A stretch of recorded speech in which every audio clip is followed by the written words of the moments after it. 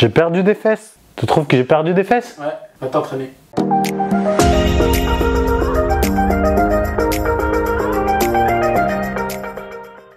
Est-ce que tu préfères un fessier de fit girl ou un fessier capable de casser des noix tel un bodybuilder américain? Peu importe ce que tu préfères, aujourd'hui je vais t'apporter la solution. Alors suis-moi et je vais te montrer les trois meilleurs exercices pour muscler dès maintenant ton fessier. On y va? Let's go Ok, sérieusement on y va. Aujourd'hui on va voir les trois meilleurs exercices pour développer votre fessier. À savoir que de manière générale, si vous regardez cette vidéo, c'est que votre fessier n'est pas un point fort. Parce que si votre fessier était un point fort, vous ne vous poseriez même pas la question. Par exemple, si l'on prend mon cas, le fessier est mon point fort, ça se voit moins maintenant parce que je ne fais plus de bodybuilding et je ne recherche plus l'hypertrophie, mais quoi que je fasse, mon fessier va prendre le relais. Je peux faire du squat, du soulevé de terre, des fentes, et le fessier va travailler et va se développer. C'est le cas pour certains sur les pecs, sur les biceps, sur le dos et lorsque vous avez un point fort de manière générale. Mais si votre fessier est un point faible, ça va être un vrai souci, comme à chaque fois qu'on a un point faible, puisque euh, vos quadriceps ou vos ischios, donc l'avant l'arrière de la cuisse, vont avoir tendance à travailler plus que le fessier sur les exercices. Le but aujourd'hui, c'est donc de vous proposer trois exercices si vous êtes dans ce cas-là et de vous montrer comment les effectuer au mieux, avec quelle technique en détail pour les intégrer dans votre entraînement. Donc on y va avec le premier exercice. Let's go. Donc le premier exercice que l'on va voir ensemble, ce sont les fentes glissées. Donc cet exercice de fente glissée est différent des fentes classiques puisque c'est plutôt la jambe arrière ici qui va travailler. Le but va être de prendre un sopalin ou ce qu'on appelle un vast slide, un patin de déménagement que vous pouvez acheter dans n'importe quel magasin de bricolage ou de se mettre pieds nus simplement sur un sol glissant et de faire glisser votre jambe arrière d'avant en arrière. Mais attention, ce n'est pas la seule condition. Le pied avant doit être stable et votre buste doit bouger d'avant en arrière. Vous descendez votre buste lorsque votre jambe s'avance et vous redressez votre buste lorsque votre jambe recule. En faisant ainsi, vous allez faire un mouvement vraiment de base. À la fois, il va y avoir une flexion au niveau du genou, mais aussi au niveau du buste. Ça va donc être un mouvement de base, polyarticulaire comme je le disais, et plusieurs muscles vont intervenir. Bien sûr l'avant de la cuisse, l'arrière de la cuisse encore plus, l'ischio, mais aussi le fessier énormément si vous bougez bien le buste. Attention, si vous ne sentez rien, eh bien c'est parce qu'il n'y a pas assez lourd. Ici, beaucoup de muscles travaillent. Donc vous pouvez vraiment, une fois que vous avez la technique, mettre très lourd. N'hésitez pas à le faire avec un, voire avec deux haltères. Bougez bien le buste, coordonnez-vous, démarrez léger pour apprendre la technique et forcez essentiellement sur la jambe arrière.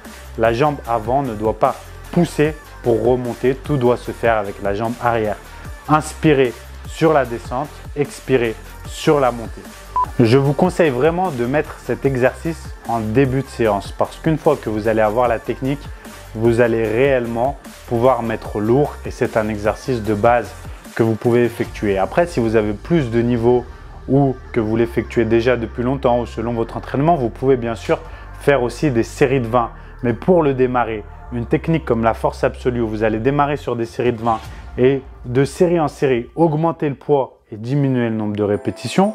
Par exemple, 6 séries, 20, 15, 12, 10, 8, 6 répétitions avec un temps de repos de 45 secondes, 1 minute entre chaque côté va être très intéressant pour vraiment travailler votre fessier.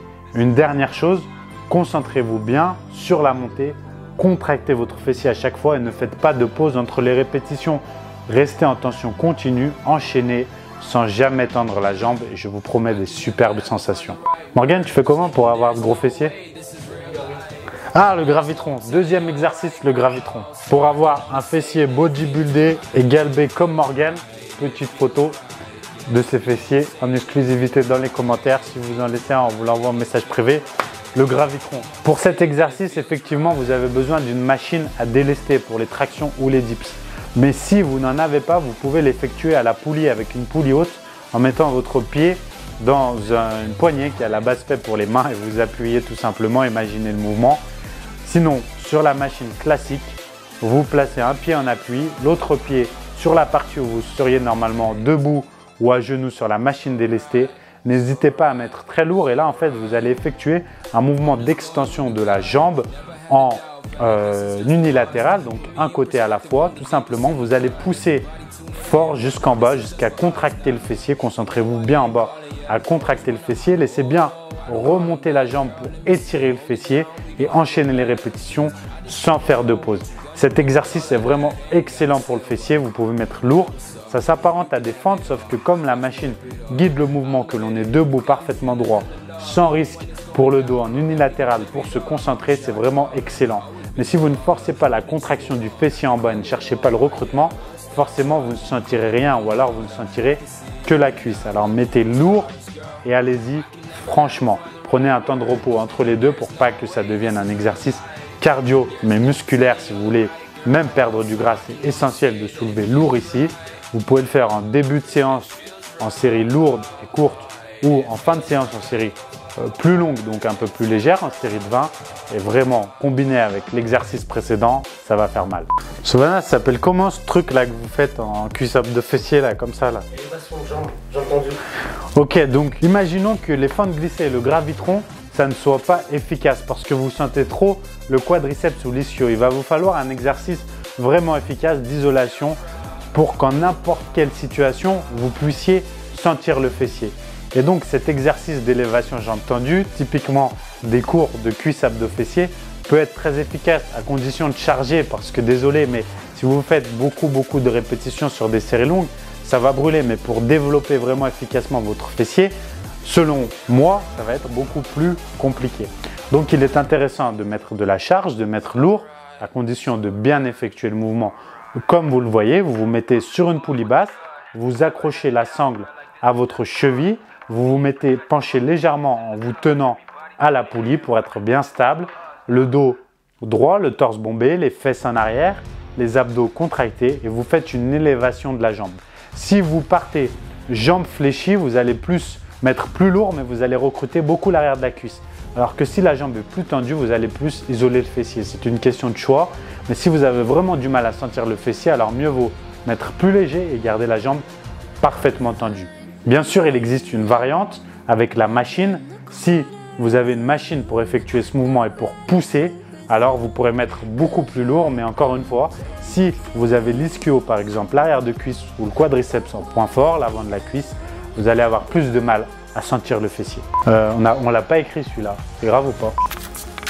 J'ai un prix Pulitzer J'espère que ces trois exercices vous procurer de bonnes sensations. N'hésitez pas à poser vos questions dans les commentaires, à nous faire un retour, nous dire si on a tort, avec politesse sans être trop méchant. Euh, voilà, nous donner vos exercices que vous trouvez efficaces, vos avis. N'hésitez pas à partager, à mettre un petit like, ça fait plaisir, c'est notre retour. On a essayé de faire un format différent.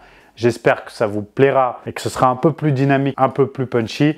Merci à tous et à très vite pour une nouvelle vidéo sur AW Coaching. Croyez en vous, croyez en vos rêves.